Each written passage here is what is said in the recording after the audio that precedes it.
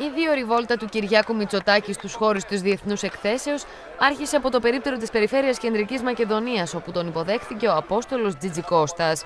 Ο κ. Μητσοτάκης συνεχάρει την περιφέρεια για τις επιδόσεις της στην απορρόφηση ευρωπαϊκών κονδυλίων, καθώς και τον πρόεδρο της ΔΕΘ Λέξπο για την επιτυχημένη φετινή διοργάνωση.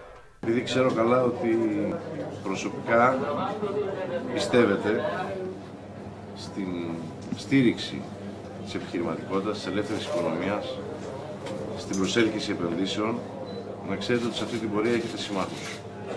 Και συμμάχους που είναι διατεθειμένοι με τη δουλειά τους να αποδείξουν ότι μόνο αυτός είναι ο δρόμος για την έξοδο κρίση. Χαίρομαι πολύ διότι και η Περιφέρεια Κεντρικής Μακεδονίας έχει βάλει τις ίδιες προτεραιότητες τις οποίες έχουμε και εμείς συνολικά για τη χώρα και για τον τρόπο με τον οποίο αντιλαμβανόμαστε την οικονομική ανάπτυξη.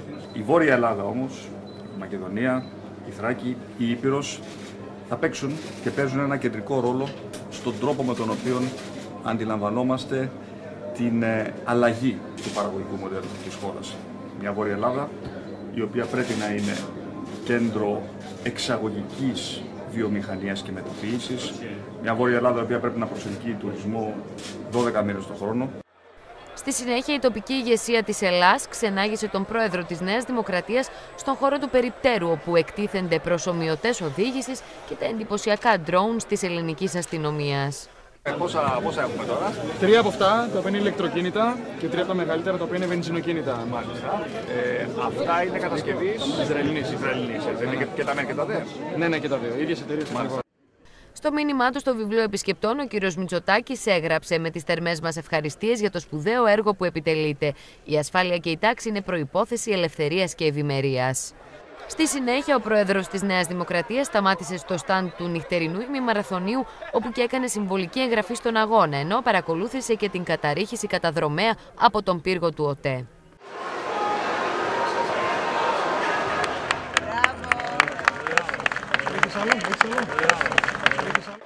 Επόμενος σταθμός του Κυριάκου Μητσοτάκη ήταν η μπουτίκ του ΠΑΟΚ, όπου τον περίμεναν ο Ευρωβουλευτής της Νέας Δημοκρατίας Θοδωρής Ζαγοράκης και ο εκπρόσωπος τύπου του κόμματος Βασίλης Κικίλιας, με τους οποίους και αστιεύτηκε, ευχόμενος καλή ευρωπαϊκή πορεία στον ΠΑΟΚ.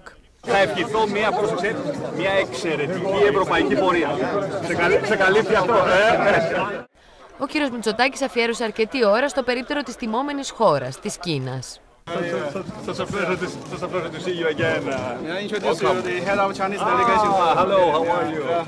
Στη συνομιλία του με τον Κινέζο πρέσβη αλλά και εκπροσώπους σημαντικών επιχειρηματικών ομίλων, εξέφρασε την ανάγκη προσέλκυσης περισσότερων κινέζικων επενδύσεων στη χώρα μας αλλά και τουριστών, γεγονός το οποίο θα συμβάλλει και η έναρξη απευθείας αεροπορικών πτήσεων Αθήνα-Πεκίνου. Τελευταίος σταθμός του Προέδρου της Νέας Δημοκρατίας ήταν το περίπτερο των Πανεπιστημιακών Ιδρυμάτων της πόλης. Έχετε υποστήριξη από, από εταιρείες ε, ιδιωτικές; Ναι, ναι. Αναγκαστικά. Και η ΠΕΤΑ κάνει υποστήριξη. Αλλιώς δεν θα ήταν. Και ευτυχώ. Έτσι, έτσι, έτσι θα πρέπει. Είναι πάρα πολύ θετικό ότι μας ε, υποστηρίζουν εταιρείες. Εγώ θα ήθελα, θα ήθελα κάποια στιγμή να δω και μεγαλύτερες εταιρείες τεχνολογίας να υποστηρίζουν την ερευνητική δουλειά η οποία γίνεται.